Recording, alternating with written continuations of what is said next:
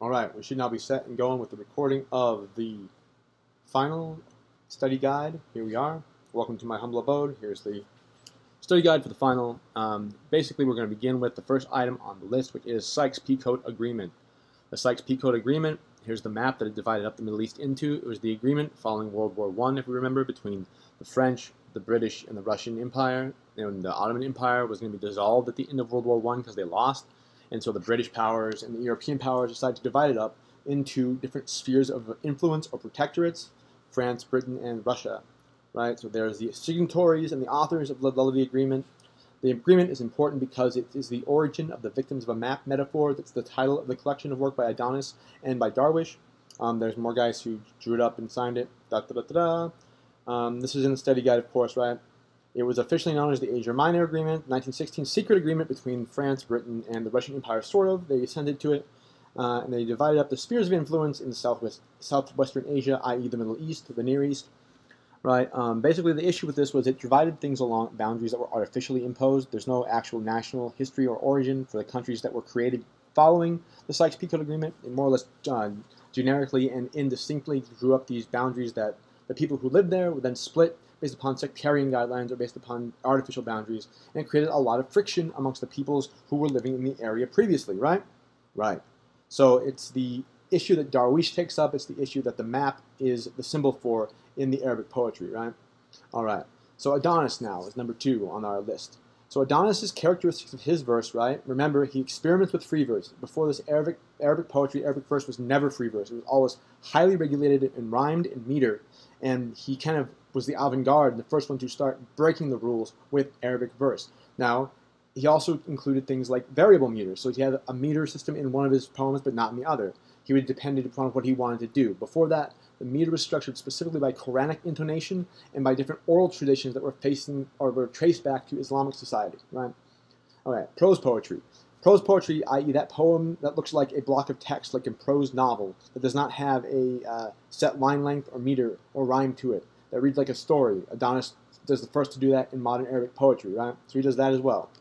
Another thing about Adonis, he engages in themes of exile. He's a originally a uh, sorry Syrian poet who's then because of his uh, radicalism or his willingness to break the rules with poetry is exiled to Lebanon where he goes to college and eventually founds two literary presses and starts the poetry movement there. So he's still not allowed back in Syria by the time he dies, and that's a problem for him. So exile is a point for him too. Transformation. He talks about the transformation not only of culture and of individuals mythologically, but also of individuals into spiritual or secular um, whole entities, right? The Arabic culture can be transformed through the use of poetry in new and interesting ways that prior to this, the poetic tradition in Islam and in Arabic culture did not allow for. That's his basis. His poetic voice is usually playful and prophetic, not morose and focusing on violence. He's a lot more happy and, in general, you know, uh, witty with his words and with the things he talks about, as opposed to uh, Darwish, who we'll see next. But uh, final thing about Adonis, he's the founder of Arabic language poetic modernism, i.e., modern poetry in the Arabic world traces itself back to Adonis. All right, Darwish. Now, Darwish is a little sadder of a guy. He's a Palestinian who was born in Palestine. He's very occupied with the Palestinian-Israeli conflict. He's concerned a lot with anxiety and identity of Palestinians and anxiety and identity on a personal level right? He's concerned about Palestine's place in the world and the different European powers and the different UN resolutions that are trying to, he thinks, like delimitate the Palestinian uh, perspective or existence. Um, so he's opposed to Israel a lot of times, and his ongoing tensions with Israel are reflected in his poetry. He's focused on exile, but not so much like Adonis is about longing for the homeland, but as an activist who's actively trying to break down borders and establish a new state that he can call home. Darwish is a lot more violent in his language, a lot more political overtly, and a lot more um, anxious towards Israel and the European powers in the Middle East. Um, he longs for in his poetry politically focused power, not just power or not just individuality or identity, but actual political power to change things with Israel, Palestinians, and the world. Um, separation or separatism politically. He favors separatism from Israel, like two state solution is not quite enough for Darwish even. He wants like a one state Palestinian solution where Israel has to break off and relinquish a lot of its territory. So that's his uh, site as well. He, he uh, writes about the concept of homeland in a way that is anti uh, Israeli occupation, he calls it a lot of times, anti Israel's existence a lot of other times, right? He um, focuses on violence in his poems and uses these poems and this violence as a political tool. So you'll see a lot of times violence in his poetry is being used for political ends, or the poetry itself is being used for political ends. That's how you tell it's Darwish's poetry, right? Brandon Courtney's poetry. Uh, U.S. Navy guy, right? He writes beautifully and in very nice, pretty, formal, kind of like Shelley and Keats old school romantic poetry lines, right? Very regular lines. Doesn't have a lot of weird long lines, and he writes a lot of stuff that's in a good meter or has rhyme within it, right? In his book we read, Inadequate Grave, it carries the themes of the Odyssey through, and it's in conversation with the Odyssey, right? There's a subheading that says, here's lines from the Odyssey, and then his poems come up, and they give a reflection or a correlation of experience of his own based to that Odyssey um, theme or that Odyssey line, right? He deals with mental health and homecoming a lot, more than any other poet. He talks about mental health issues, both in the U.S. and overseas. It talks about mental breakdown and PTSD in personal and in introverted kind of ways. Um, he's disenchanted with the military service, like largely he's not in favor of or promoting kind of patriotism or that view. He's kind of had it with the military and the experience he had there. So it's a tone you can get in his poetry as well. Um, loss of friends. Remember, the inadequate grave is focused largely on the death of his best friend and what that did to him, psychologically, physically, and with his military experience. Um, the sea, changing the body into something beautiful, right? This is another of his themes he focuses on, is how through death, even the sea can take the body and rework it into coral and something beautiful, into a uh, transformative, transcendent experience that the body can never be before it dies, right? The ocean can reclaim the body for life in the afterlife, right? Um, reclamation of the body by nature, like I said, the whole idea of the body becoming dust, becoming the air in the earth, becoming the food for plants, becoming something that's reused and is beautiful in that way too, right? And therefore the ocean is configured as a tomb in his poetry. The ocean is both grave and earth and mother and tomb, right? Okay. Um, next we have, oh yeah, the ocean is an insurmountable obstacle to humankind. Like it's something we can't master. It stands at the edge of all human experience and something we cannot overcome. It will overcome us. It will kill us. It will be our tomb. And because of that, uh, Courtney has a lot of uh, incomprehensible and insurmountable images for the ocean. All right, Landays. Remember, these are the Afghani folk poems. They're 22 syllables in length. There are nine syllables in the first line and 13 in the second line. They're a spoken poem that's never written down, or not usually until they were recorded by our intrepid Western reporters, right? So it's a oral tradition. They're subversive, they're body, they're lewd, they're sexual, they're, they're, they're provocative, right? They're anti-patriarchal. They make fun of the men who are in charge in the society in Afghanistan, either by ma making fun of their masculinity, their sexual prowess or the lack thereof, or their um, ability to run a family or a war, their soldierly prowess, their political prowess. It chides them at all of this, right? It rewrites traditional folk themes by updating the language, right? So what became a, a shawl or a um, sleeve or an ankle in the old traditional Landays is a bra strap or is cash money or is the internet now in the new uh, updated Landays that are currently being written and recited, right? Landays are traditionally about one of five themes love, grief, loss, homeland, and war. Right? Those are the things to remember about Landays. Malala. Remember, Malala is not the education activist uh, from India who got attacked by ISIS and hurt um, a couple years ago. This is the woman whom that Malala was named after, who's an Afghani, and she was famous in because of the Battle of Ma- uh, which is a uh, battle that the British fought against the Afghani forces in the Second Anglo-Afghani conflict. And the legend and the myth as it goes is a young girl uh, against the diktats of a strict Afghan custom, took off her veil, and she roared and she waved it around like a flag, and she said, Young love, if you do not fall in battle of Maiwand, by God, someone is saving you as a symbol of shame. Right? So she's saying, die for your country now. This is the time we need you to fight and die. If you don't, then we're ashamed of you. No woman's going to want you again, right? Which is a Landays she recited, yeah? So her name is Malala. At 19, she was from the village of Khig, which is close to where the battle happened. The customary um, status of a woman. She was on the battlefield tending to wounded and supplying the troops in, with water and medicine.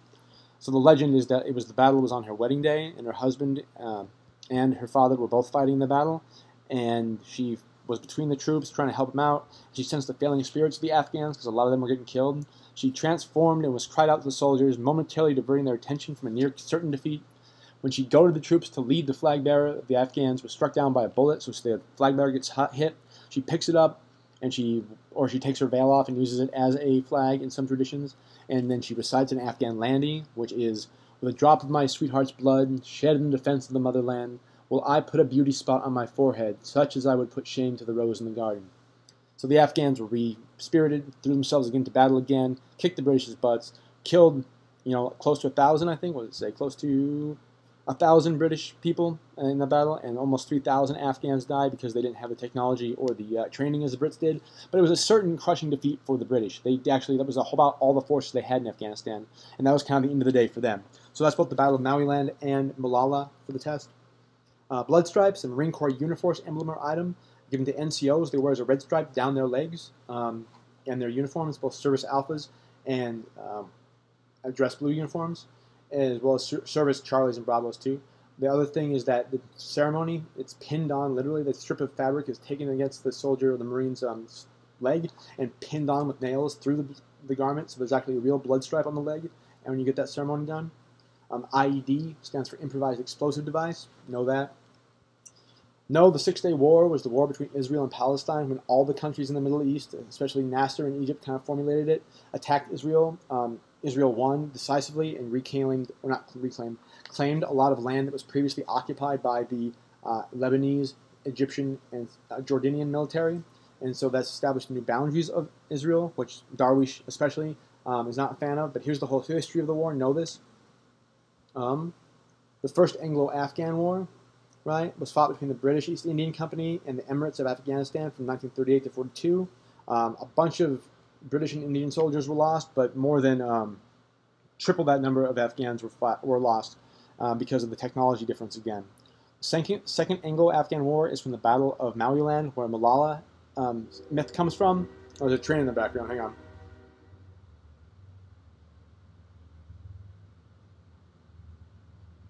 All right. So you can hear, there's the train.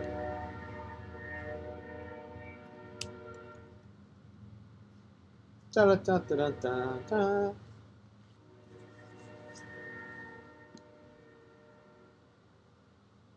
Cool. So, anyways, the Afghan Second Anglo-Afghan War. The Afghanistan was invaded again by the British and the Indian forces, who were a British protectorate at the time. The Battle of Maiwand and Malala happened during this war. Um, it ends in the Afghanistan's defeat and the establishment of a puppet regime in Brit in Afghanistan by the British government. So there's that. Battle of Maiwand again, July 27, 1880. It's where Malala comes from. It's a decisive victory and the only victory for the Afghans in that war. Um, parallel response is how Brandon Courtney's poetry interacts with the Odyssey in his collection Inadequate Grave Right. There's a response or a line from the Odyssey, a section, a quote, and then he responds to that with his own poetry and experience, right? Political rebellion and activism is Darwish's concept. It's the poeticizing of violence in exaggerated or politically charged fashions. There you go. A ghazal is an Arabic form of poetry. It's composed of a minimum of five couplets. Remember, a couplet is two lines of poetry.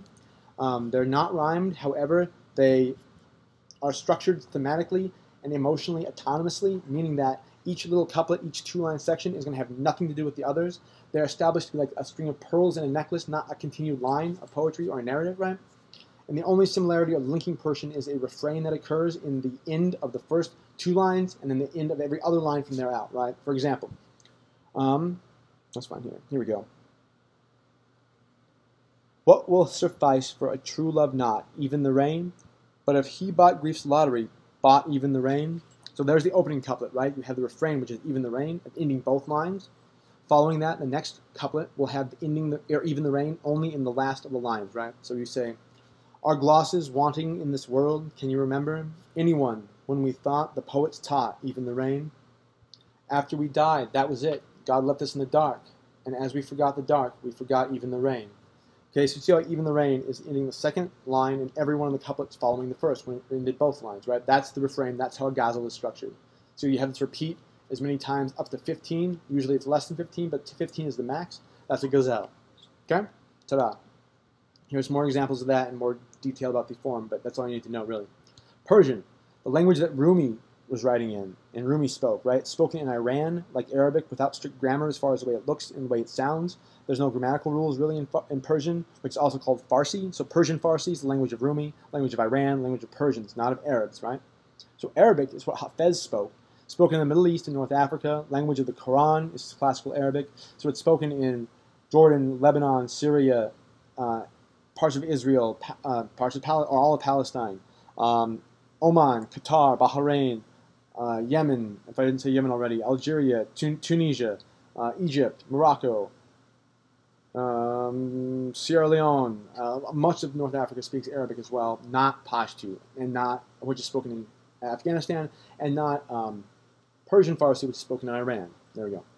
All right, Bedouin. Bedouin were the pre-Islamic tribes of the Arabic deserts, nomadic, pagan, or animist in religion, right? Before the Islamic um, thing happened, before the Islamic conquest happened, before um, Muhammad received revelation from Archangel Gabriel and established the Quran, right? All pre-Islamic poetry was spoken word. It was spoken poetry. It was traditional folk poetry that was given to the, from Bedouin tribes to other Bedouin tribes through oral recitation at dinner and nighttime, right? That's how it was carried on. It was cultural in nature, right? Quranic verse, post-Islamic conquest, obviously, post-Quran's establishment. Um, the Islamic caliphates and empires and dynasties set it up that it was the only acceptable use for poetry, right? Only thing you can use poetry for is to write Quranic verse or to explicate and describe Quranic verse, hadith, surah, etc. Anything else, any secular use or talk about love or anything is halal or is haram rather. It's terrible. It's bad. Don't don't mess with it. Pashtun is the ethnic majority in Afghanistan, right? Um, they're also Pashtun is a language which is the language spoken by the Pashtuns in Afghanistan, right? Helmand is a province in Afghanistan where the most violent fighting in the U.S. occupation, OEF, Operation Enduring Freedom, occurred. Um, it's relevant somewhat to Brandon Courtney's poetry and somewhat to my poetry, but just know that Helmand is that province. Al Anbar, similarly, is a province in Iraq. It's where both Fallujah, or not both, where all Fallujah, Tikrit, Ramadi, and Samarra are located. It's part of what's known as the Sunni Triangle, which is the triangle that's created between Baghdad, Ramadi, and Tikrit. Or Baghdad, Ramadi, and Fallujah, sorry. It's in the northeast of Iraq. It's where some of the most violent fighting, including the first and second battles of Haditha, occurred, right? A mirror for, a mirror for the 20th century, a mirror for the executioner, a mirror for life, a mirror for death. This is Adonis's poetic method and his thematic use to describe political issues in his poetry. Unlike Darwish, he does not go straight in and say, here's political, political, political violence. No, he puts a mirror. He says, a mirror for the 20th century. And in symbols and images, he describes the violence and the longing and loss of the 20th century. He doesn't do it explicitly. He does it through symbolism and poetic figuring, right? Unlike Darwish, who's like, here's bad crap that happens, it's violence, don't like it, done. All right.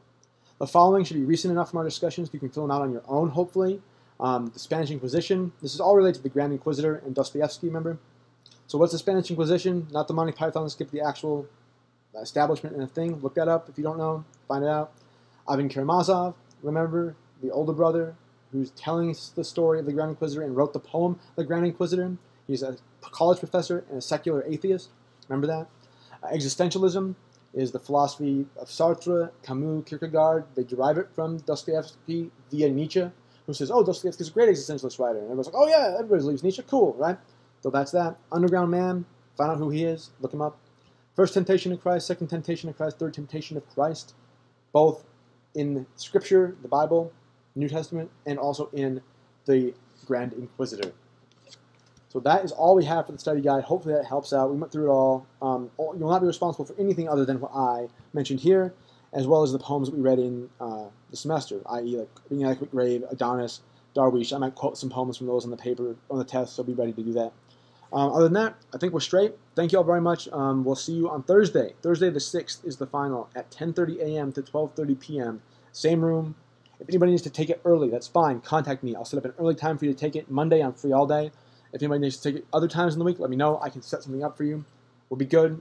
Any other questions, hit me up on my email or GroupMe.